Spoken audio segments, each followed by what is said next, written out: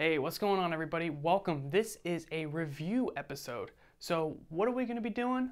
That's right, we're going to be talking about all these things, which I wrote out because I knew I wouldn't be able to remember half of them if I didn't write them down. So, this is what we've talked about in the last 20, 25, 27 videos, or whatever it is. And we're not going to go in a ton of detail of these, but if there's anything on this list that's like, ooh, really confusing, or you have no idea what it is, then you might want to review some of the previous episodes. And that's with two exceptions fragments and intents. We barely talked about intents, and we haven't even talked about fragments yet. I'm going to get to that in this episode briefly. So, where it all began. If you guys remember back in the day, episode one, I just talked about the basics of app development, and we brought up Android app development, obviously. And then episode two, we talked a little bit about Java versus Kotlin versus all these other opportunities. And I decided to just talk about Java versus Kotlin in this episode. These are two programming languages and they can be used to do the same exact thing inside of Android development. So which you choose is ultimately up to you. Now, Kotlin's kind of newer. It's kind of like that fresh programming language on the block. And it, it's pretty well established, so it is popular. It's not like it's not like you have to, to worry about jumping on, trying it out, and then it just disappears the next day. It's I'd say it's more stable than the latest JavaScript framework. So you can try Kotlin as well, and I intend on doing Kotlin videos on this channel here too. So stay tuned for that and be sure to smack that sub button. We decided to go with Java since I already have a Java series. And once you know Java and you understand the Android principles, switching to Kotlin is going to be a piece of cake. You just got to learn some of the basics of the Kotlin language. From what I've seen, it ain't too complicated. And then picking up Android with Kotlin, that's going to be easy.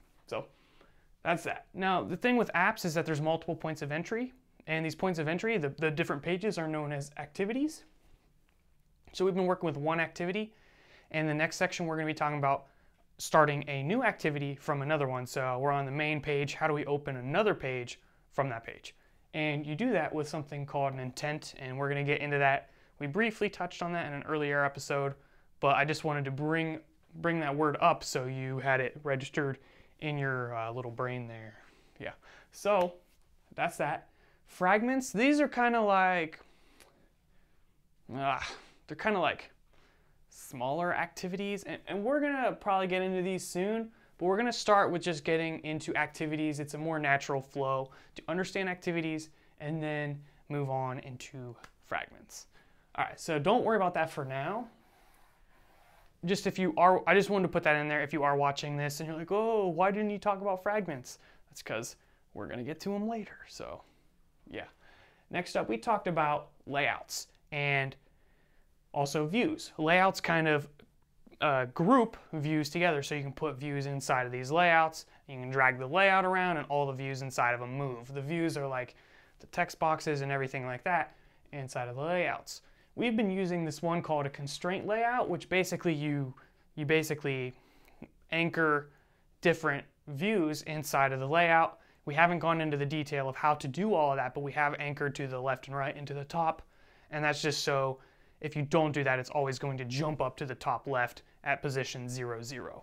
So when we get into design, we'll probably get into the, the constraint layout and how to work with it. But for now, just know that layouts are, are the, the container and the views go inside of it. So layouts is like a giant box and we're putting views inside of it. Now we can give an ID to these views so we can reference them in code. And we do this by saying find view by ID, pass in r.id dot whatever the, the ID that we assign it is. So for example, button or button 11 or whatever it might be.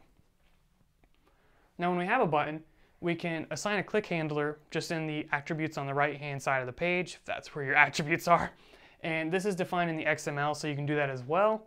And it's really simple. You just put the method name and then inside of the .java file for this activity, you define that method and that becomes your event handler. And when you do that, you're going to have a, a parameter so that looks something like this. It's going to be of type view, and it's going to have some names such as v.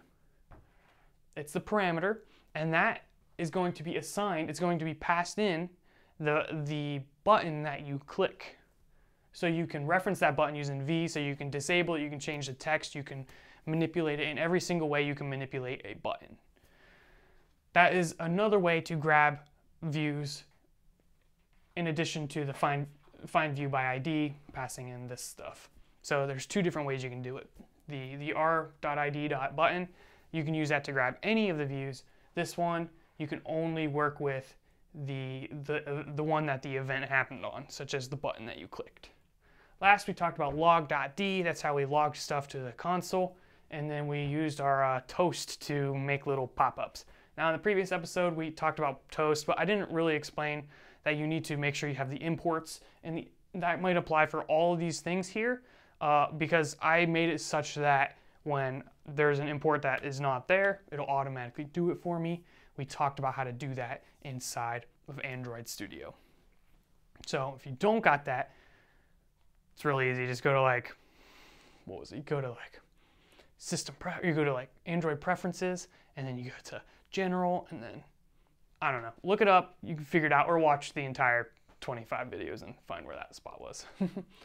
so those are the main things. Now what I want to do is I just want to uh, go into uh, either going over some code examples of some of these things just to get some review, make sure you guys got it, maybe some exercises, or we'll just jump into the next section where we're going to talk about creating new activities, doing some more complex stuff, how to pass data from activities, and hopefully all these things start to piece together so that when you're assigned a task of building the next crazy app, you have the tools in your tool belt to do that. Yeah, all these things just kind of seem like random information, like reference material, but it's kind of like you're, I've explained this on my channel before, it's like learning the different Lego pieces. Imagine you're like a two year old and you, you see like the normal Lego piece and then the flat Lego piece, and you're like, wow, this one can be used to make like houses, and this one can be used to like eat. No, I'm just playing. But the different shapes, that's are those are these, and you can start piecing them together to make bigger projects. It's kind of hard to, to just jump in and make bigger projects without understanding these concepts. So I do apologize if it's taken such a tremendous length of time just to get through some very, very rudimental stuff. But that's the approach I like to take because then I feel like you got that solid foundation and you guys can go do stuff on your own versus always having to be stuck in a tutorial purgatory or whatever you want to call it where you you can't manage to create anything besides watching tutorials and following along. Use these tools to make something on your own, come up with some creative ideas. Like I showed you guys in an earlier episode, me and my friend threw together a tic-tac-toe game. All we had to do was piece some of these basic things. And we didn't even know what half of these things were called at the time. We just did it because it sounded cool. And when something wasn't working, we just tried something else. We looked stuff up. We got on Stack Overflow, asked different questions, and, and it kind of progressively got better. You know, at first we just had buttons and they didn't do anything when you clicked them, and then we got them to, to go disabled, and then we got them to, to say circle or X and it just got better and better from there. And then we got bored and we just went back to playing Call of Duty and went on with our lives. But you guys get the point. Um, try to do it in an exploratory manner. I'm going to stop my rant about now. So thank you guys for watching.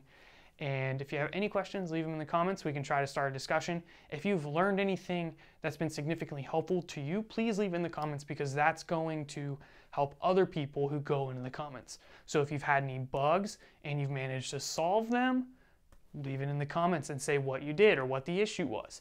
If you had some clarity on some concept you were confused on and you finally figured out how to put it in your brain, put that in the comments because that's going to help other people.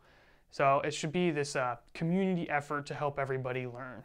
So thank you, and let's move on to the next episode. Peace out.